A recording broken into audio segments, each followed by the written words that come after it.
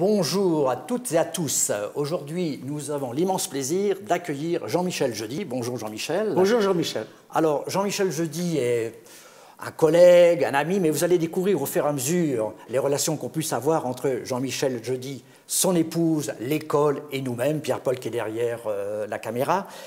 Euh, une carrière qui mérite qu'on s'y euh, attelle, qu'on puisse, qui, nous emmène des Vosges aux plus grands établissements du monde. Donc, après toutes ces pérégrinations, lorsqu'on va évoquer sa carrière professionnelle, eh bien, Jean-Michel s'est mis à écrire avec Françoise, son épouse, et ça fait l'objet donc de ces émissions que dans le, cadre de La Gueule ouverte. Donc, je propose que nous découvrions la carrière de Jean-Michel dans un premier ouvrage qui s'appelle Les Brimbelles de Californie, qui va nous euh, raconter l'itinéraire donc euh, autobiographique de Jean-Michel, et ça va vous permettre de faire un peu plus sa connaissance, si tant est que vous ne le connaissez pas tout de suite, mais peut-être qu'il y a des productions que vous ne connaissez pas, notamment sur son rapport euh, à la poésie. D'autres émissions suivront, dont une qui concerne plus précisément euh, ses romans. Il y a quatre ouvrages autour d'un personnage central qui s'appelle Comme vous. Et puis nous ferons une émission commune avec Françoise sur l'aspect photo, poésie et différentes productions qu'ils ont fait tous les deux. Alors, pour démarrer, Jean-Michel, euh, on va parler des fameuses brimbelles de Californie, ces, ces brimbelles de vie, sous-titré Itinéraire gourmand des Vosges aux États-Unis. Alors on va peut-être un petit peu euh, fractionner euh, tout ça.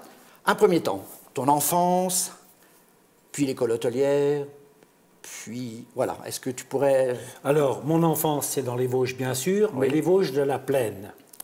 Autrement dit, on n'est pas dans la montagne, on est dans la plaine de la Moselle, avec quelques jolies collines euh, à droite et à gauche. Et donc je passe une enfance, euh, euh, disons, heureuse entre la Moselle, le canal de l'Est, on est dans du Claudel, là, et le couvent de Porcieux. Voilà. Et dans un château, entre guillemets. Alors, mes parents, mon père, de par sa profession, de par sa situation, euh, habitait une, en anglais, on dirait une mansion, hein. une grosse maison d'ailleurs qui avait été faite par un anglais, un architecte anglais, et que les gens du village appelaient le château.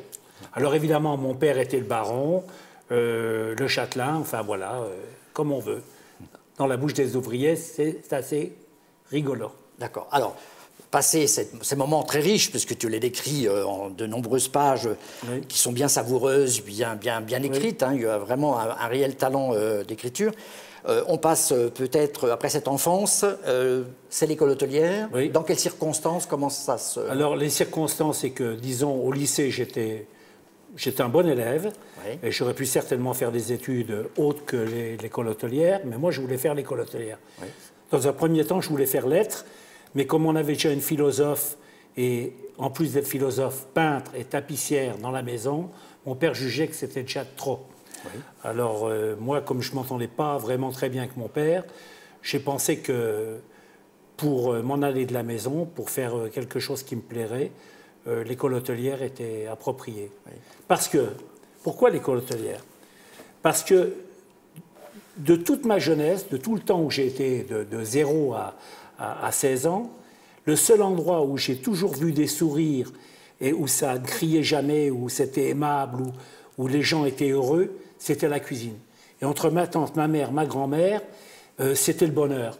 Et moi, je suis parti euh, gamin avec l'idée que ben, la cuisine, c'est le bonheur, c'est l'endroit où il fait bon être, où il fait bon vivre. Oui. Donc c'est l'école hôtelière où il faut bon vivre, mais on est quand même, euh, à l'époque, certains s'en souviennent, n'est-ce pas, avec euh, une administration Général et, et, un proviseur. Euh, c'était pas toujours le bon vivre. Mais en même temps, en même temps c'est un métier qui demande quand même de l'ordre. On ne peut pas cuisiner dans l'anomie. Il faut qu'il y ait des règles, il faut qu'il y ait une hiérarchie, tout le monde s'en rend compte mais il nous l'a appris. Alors pour des jeunes, on va dire, euh, issus ou bientôt de 68, hein, des 68 arts, on a appris quand même une certaine discipline et, on a appris des contraintes, mais contraintes et forcées. Parce que pour faire ce qu'on attendait de nous dans, notre futur, il fallait qu'on ait cette formation. Et je pense que c'est grâce, et moi je rends grâce à M. Cocher tout le temps, parce que c'est grâce à lui quand même qu'on a réussi euh, ben, à être pris au sérieux euh, dans le monde de l'hôtellerie et de la restauration. On n'avait pas à rougir de nos camarades, qui soient de Glion, ou qui soient de, euh, de, Lausanne, ou de Lucerne, ou, d'autres écoles aux États-Unis ou en Italie. Hein. D'ailleurs, si tu permets, dans une interview que tu avais accordée à un journal, tu dis la chose suivante c'est une école de calibre mondial dont je me demande si les gens d'ici prennent l'exacte mesure. Absolument. Tout est dit. Oui, mais c'est absolument. Et je continue à le penser comme ça. Alors, tu es au service militaire, au service du président Pompidou. Oui. Et tu vis 68. Oui. Alors, 68, 68 euh, je l'ai vécu au lycée. Et je l'ai vécu au lycée de Taon, qui est un lycée extraordinaire. Euh, où j'étais, euh, où j'étais, je vais pas dire très bon élève, ça serait, ça serait, ça ne serait pas modeste. Enfin, j'étais bon élève. Voilà. Et, et, qui était le plus beau lycée du monde, ah. parce que il y, avait que cinq garçons dans ce lycée de filles. Ah. Donc c'était parfait. Je, je, retiens cette petite connotation là, quelque peu coquine, puisque dans les ouvrages qu'on verra un peu plus tard, dans le côté les romans, le fameux comme vous euh, est quelqu'un qui aime euh, la vie. Euh. Mais oui, mais la vie, elle se déguste avec hein, tous ses sens. On est, on est entièrement d'accord. Alors, dans quelles circonstances, après le service, donc après le service au, service du le service militaire au service du président Pompidou, tu pars aux États-Unis? Alors déjà, il faut savoir que le service du président Pompidou, ça a été quand même étonnant puisqu'on a été désigné volontaire par M. Cocher pour aller servir le président de la République pendant les vacances, alors qu'on était sorti de l'école. Et on était même diplômé de l'école. Il fallait, il n'y a que M. Cocher qui pouvait faire ça. Et évidemment, gratuitement. Oui. Bon. Donc, mais les résultats Mais j'ai eu une chance extraordinaire, ah c'est que j'ai servi la table du président. Oui. Et en servant la table du président, j'ai été remarqué par l'intendant général et, qui m'a demandé où j'allais faire mon service. J'ai dit, euh, droit dans mes bottes, la marine. Je ne savais pas à l'époque que pour servir le président de la République, il fallait être dans la marine nationale. Et, alors donc, Et donc, une fois arrivé à Ourtin, je me suis retrouvé envoyé euh, à l'Élysée euh, pour tout le bonheur du monde, parce que c'est vraiment un privilège, un honneur, une découverte. C'est imaginez pour un, gamin des Vosges, hein, être sous les ordres de la République, c'est extraordinaire. Il y a, une, ascension sociale entre guillemets qui, euh, voilà, au contact de gens qu'on n'était pas habitué, en tout cas que le commun des mortels n'était pas habitué. Absolument. Et c'est un des lots d'ailleurs de nos professions, de nos possibilités. C'est de nous mettre en rapport avec des gens qu'on ne rencontrerait jamais. Oui. Absolument. C'est ce qui va se passer aux États-Unis. Oui. Au Fairmont Hotel. Oui. Pas encore, si tout bah, Si, un petit peu, parce que bon, quand je suis arrivé aux États-Unis, euh, j'avais une adresse dans la poche de M. Le Cerveau, qui était le chef à l'Élysée. C'était celui qui lui avait appris comment gérer l'Élysée, qui était Jacques Pépin, l'ancien chef de De Gaulle. Donc je me suis retrouvé chez Jacques Pépin, qui lui-même m'a envoyé chez M. René Verdon, qui était le chef de Kennedy. Et M. Verdon ne pouvait pas me prendre au Trianon, où, quelques années plus tard, j'étais maître d'hôtel. Mais il avait entendu dire qu'on cherchait un maître d'hôtel au Fermont Hotel, qui à l'époque était vraiment ah une, grande maison.